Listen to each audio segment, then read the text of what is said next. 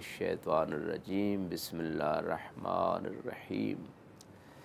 الحمد للہ رب العالمین، والصلاة والسلام علی سید الانبیاء والمرسلین وعلی آلہ الطیبین الطاہرین۔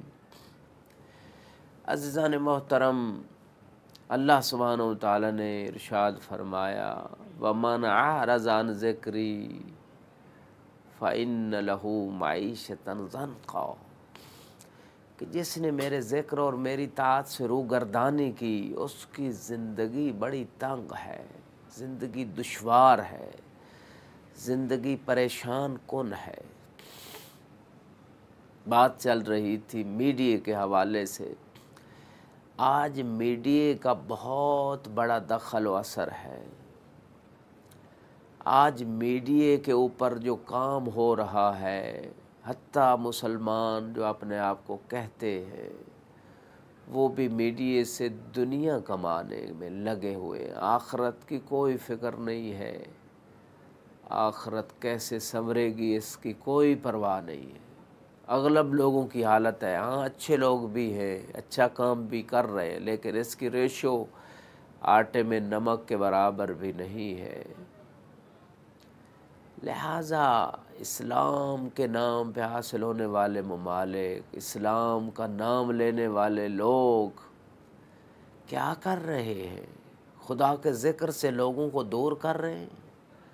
خدا کی اطاعت سے لوگوں کو دور کر رہے ہیں؟ ان کی زندگیوں کو اجیرن بنا رہے ہیں؟ میڈیا کیا کر رہا ہے؟ اغلب میڈیا کیا کر رہا ہے؟ جس لینگویج میں چاہے آپ دیکھ لیں، کیا کر رہا ہے؟ ایسے ڈرامے، ایسی فلمیں۔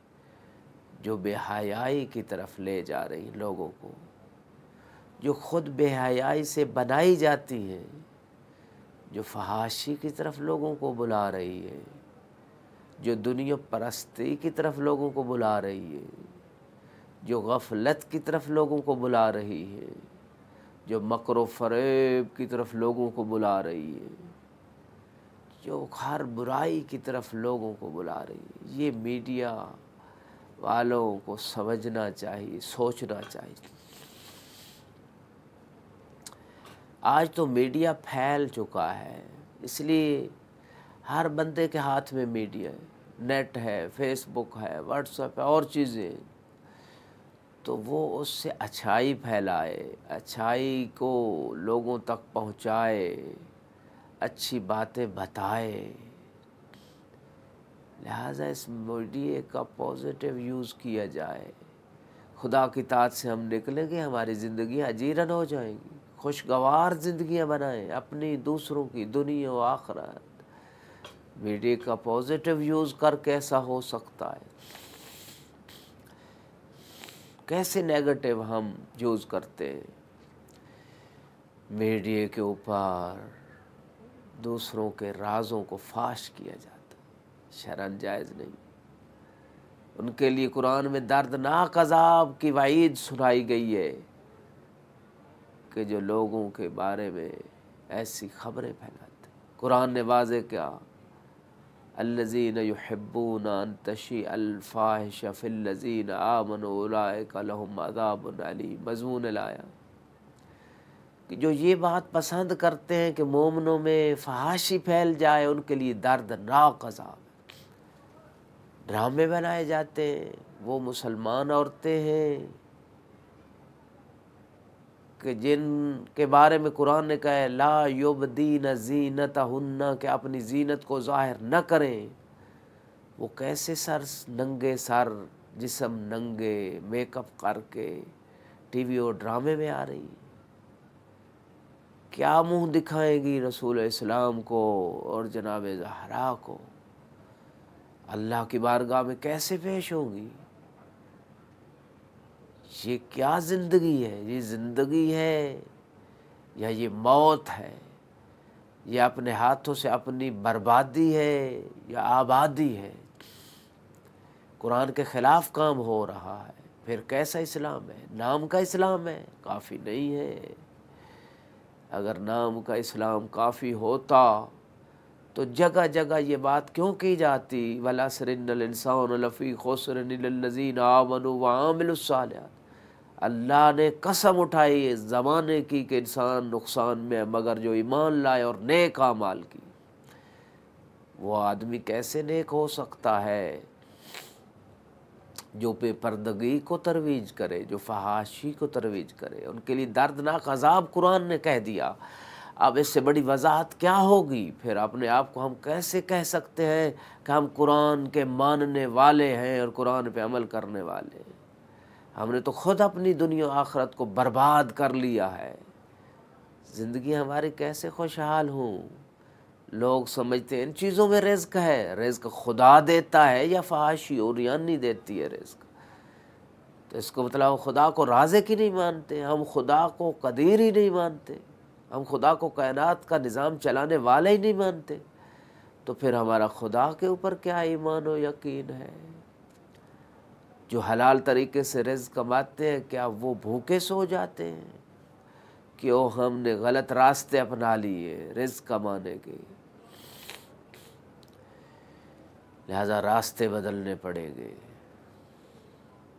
یہ فحاشی اور یعنی جو آ کے کی جاتی ہے، شرن جائز نہیں اور پھر جو ان ڈراموں اور فلموں کو چلایا جاتا اور ہماری نوجوان نسل ویسا بننے کی کوشش کرتی ہے اور بننا چاہتی ہے، یہ ہم ان کو گمراہ کر رہے ہیں۔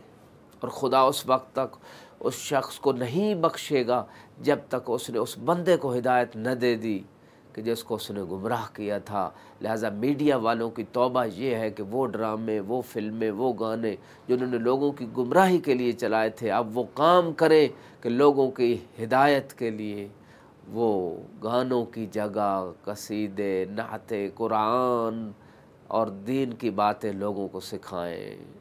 ڈرامے ایسے بنائیں جس میں اسلام کی تاریخ کی سچی تاریخ کی عکاسی ہو۔ کربلا کے بارے میں ڈرامہ بنائیں غدیر کے بارے میں ڈرامہ بنائیں اسی طرح آئمہ کی سیرت کے بارے میں ڈرامہ بنائیں رسول اسلام کی شخصیت کے بارے میں، ان کے زندگی کے مختلف پہلوؤں کو اجاگر کرنے کے لیے آپ ڈرامے اور فلمیں بنائیں یہ ہے مسلمان کا کام، یہ ہے مومن کا کام، یہ ہے ہدایت کا کام۔ برائی سے روکنا اور نیکی کی طرح بلانا ہر عاقل بالغ کا کام ہے، اگر نہیں کرتا گنگار ہے۔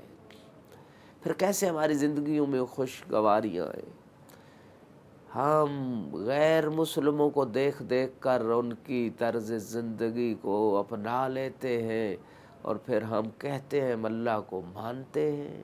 قرآن کو مانتے ہیں، رسول کے فرمان کو مانتے ہیں۔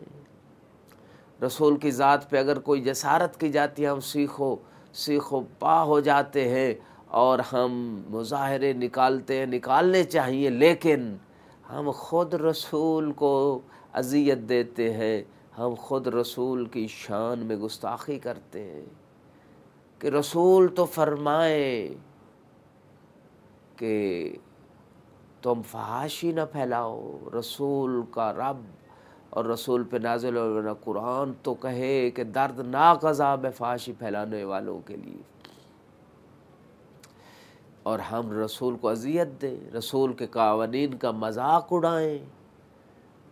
پھر ہم کہیں ہم رسول کا احترام کر رہے ہیں، رسول کی بات کا ہم مذاق اڑائیں، رسول کے قول کو ہم ٹھکرا دیں۔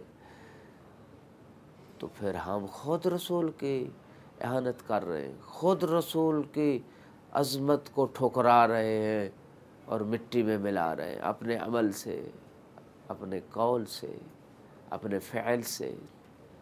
لہٰذا میڈیا کو چاہیے کہ وہ اصلاح کا کام کرے۔ ان تمام چیزوں سے بچے۔ اسی میں دین کی خدمت ہے، اسی میں ان کا رزق بھی بڑھے گا۔ اس میں ان کی آخرت کی زندگی بھی بڑھے گی۔ دنیا کی زندگی وہ غیر اسلامی طاقتوں کے پیسوں کو لے کر اپنے ملک و قوم کو تباہ و برباد نہ کریں۔ خدا ہم سب کو ہدایت دے۔ واخر و داوان الحمد للہ رب العالمین۔ والسلام علیکم ورحمۃ اللہ وبرکاتہ۔